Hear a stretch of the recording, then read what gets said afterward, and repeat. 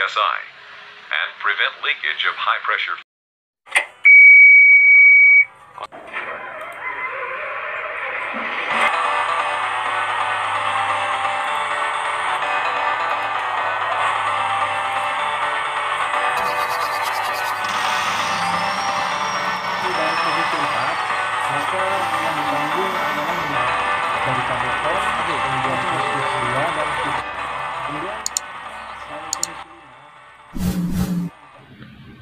Assalamualaikum warahmatullahi wabarakatuh dan semangat pagi.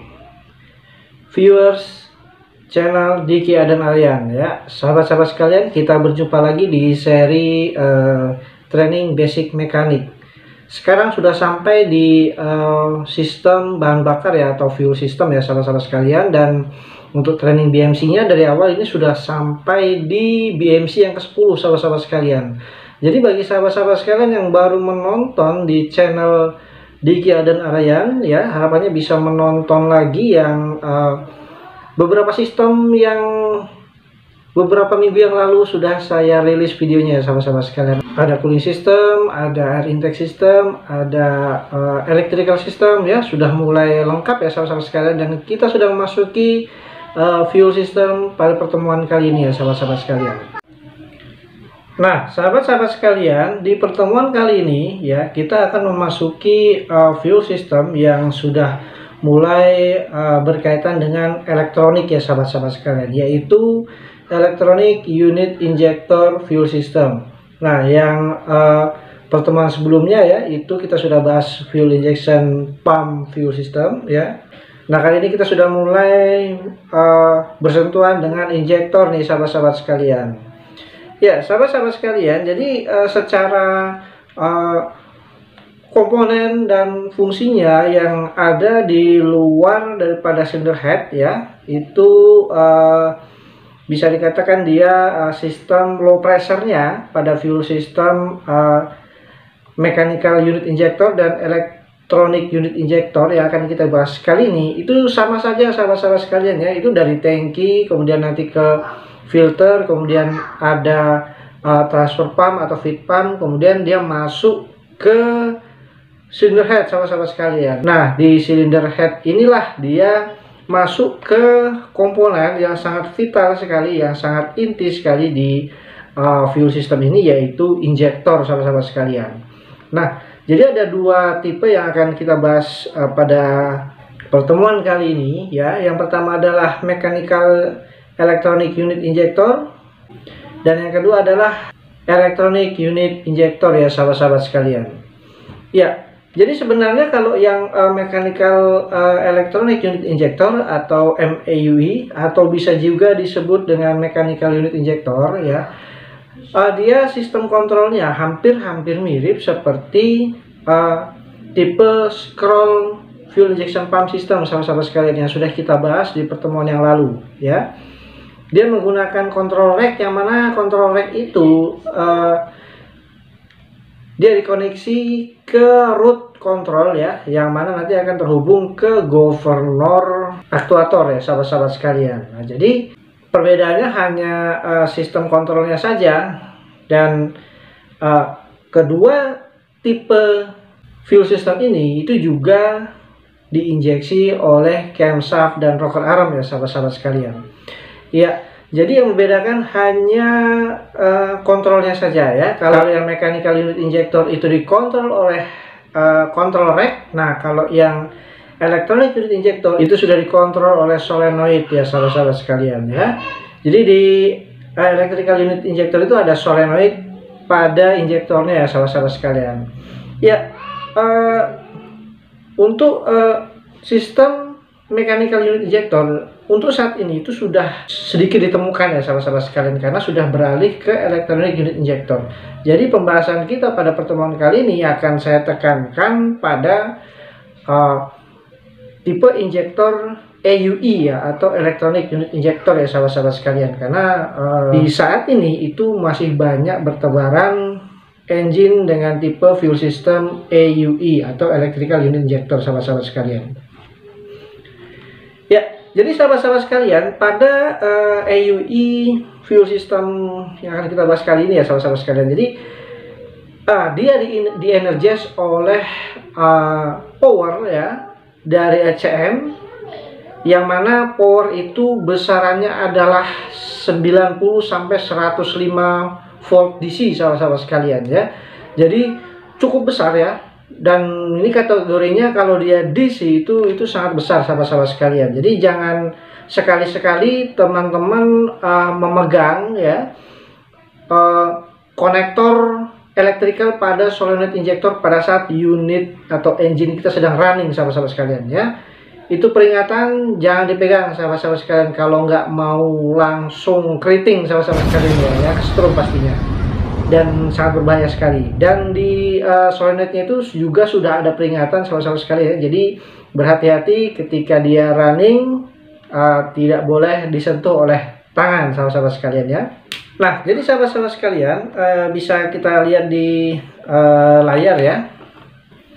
Fuel system AUE ini sudah melibatkan controller sahabat-sahabat sekalian ya, ECM atau Electronic Control Module ya sahabat-sahabat sekalian. Nah, jadi Electronic Control Module inilah yang uh, mengatur uh, injektor mana saja sih yang akan diinjeksi ya berdasarkan timing yang sudah ditentukan ya sahabat-sahabat sekalian ya.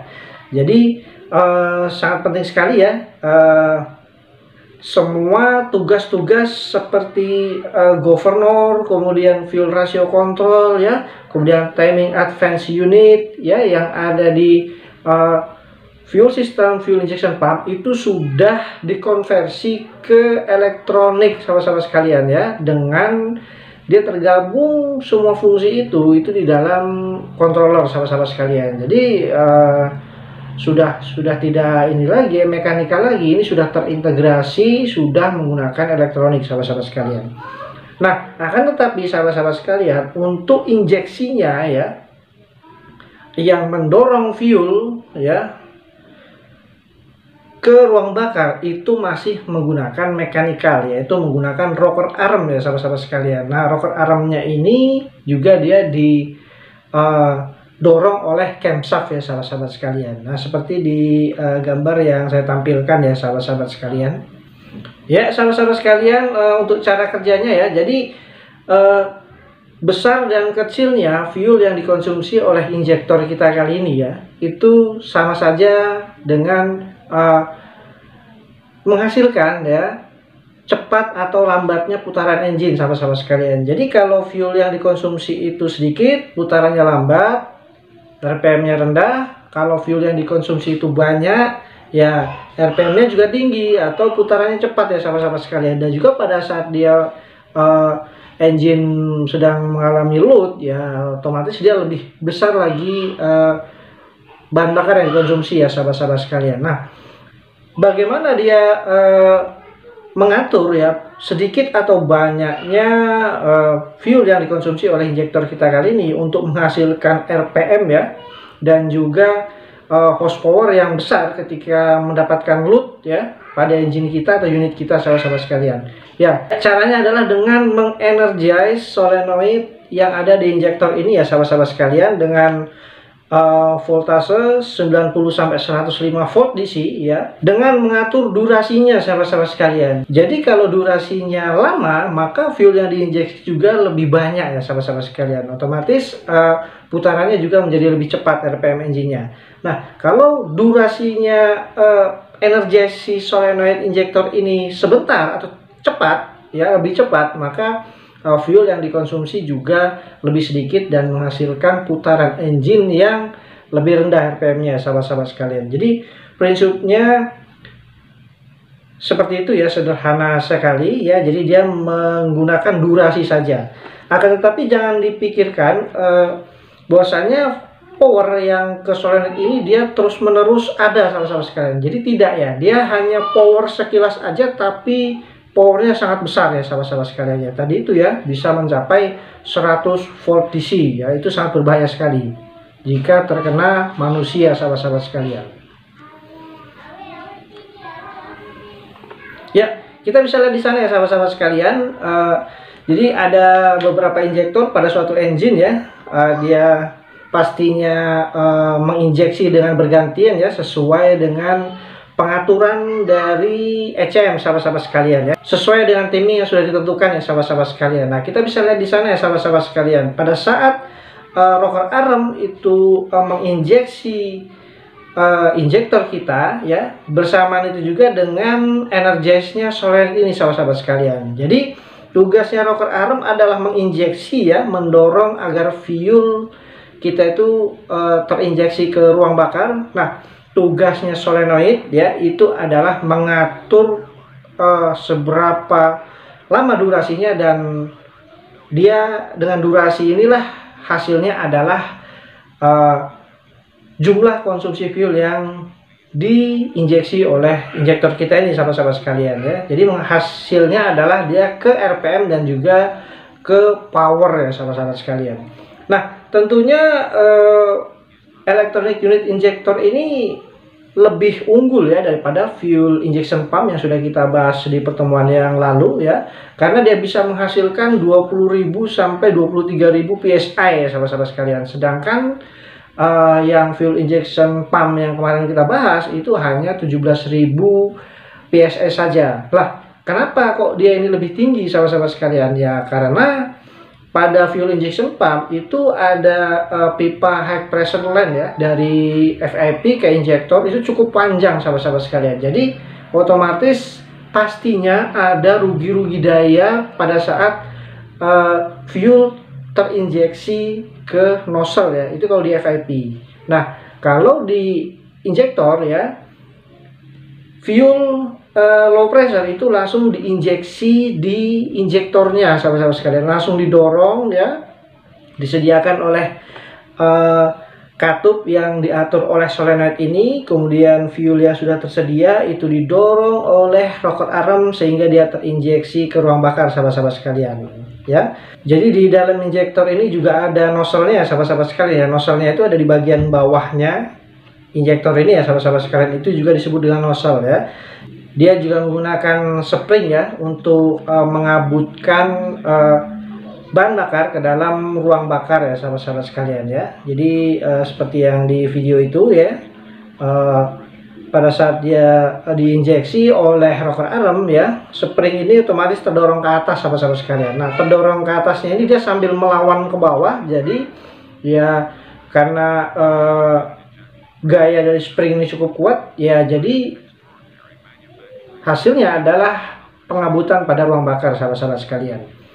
Ya, kemudian sahabat-sahabat sekalian pada uh, fuel system tipe AUE ini ya ada satu keunikan ya sahabat-sahabat sekalian. Jadi ketika kita memasang uh, injektor ya yang baru pada engine kita maka harapannya itu harus kita reprogram ya injektornya sahabat-sahabat sekalian atau bisa juga disebut dengan uh, di flash ya sahabat-sahabat sekalian ya. Jadi uh, ada yang pakai CD atau disk ya, kita flash menggunakan ET tool ya. Ada juga yang dia hanya menggunakan kode elektronik sahabat-sahabat sekalian. Kita bisa lihat di sana ya sahabat-sahabat sekalian ya. Jadi uh, itu yang menggunakan kode ya sahabat-sahabat sekalian ya.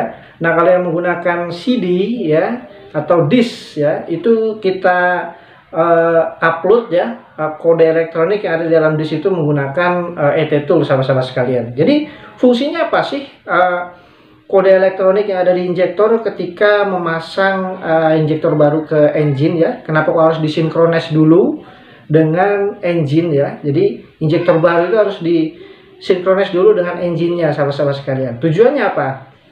Jadi sahabat-sahabat sekalian, uh, pabrik yang memproduksi injektor dia juga melampirkan kode elektronik untuk mengkompensasi ya kelemahan dari injektor yang dia produksi sahabat-sahabat sekalian ya.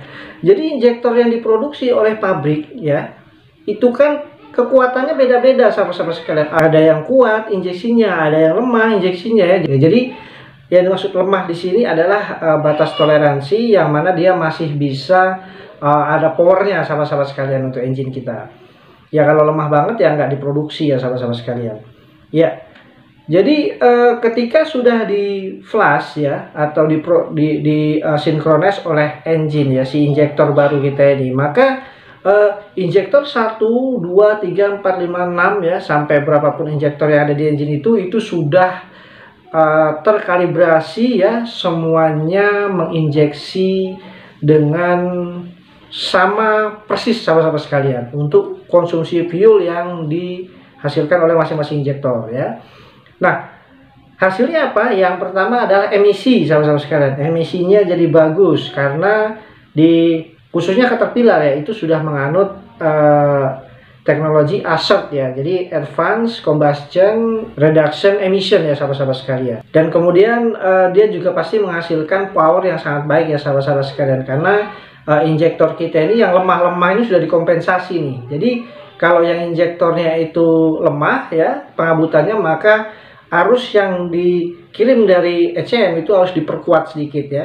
Nah, kalau injektor yang dia sudah lebih kuat injeksinya, maka arus yang dikeluarkan oleh ECM itu harus dilemahkan sedikit ya. Jadi itulah uh, kenapa dia harus dikenalkan si injektor kita dengan ECM ya. Jadi untuk mengatur seberapa sih uh, kompensasi yang diperlukan oleh injektor ya yang baru ini ya untuk uh, menghasilkan pengabutan yang sama dengan yang lain sahabat-sahabat sekalian. Nah, bagaimana kalau tidak diprogram ya atau tidak disinkronize uh, ya atau tidak di flash?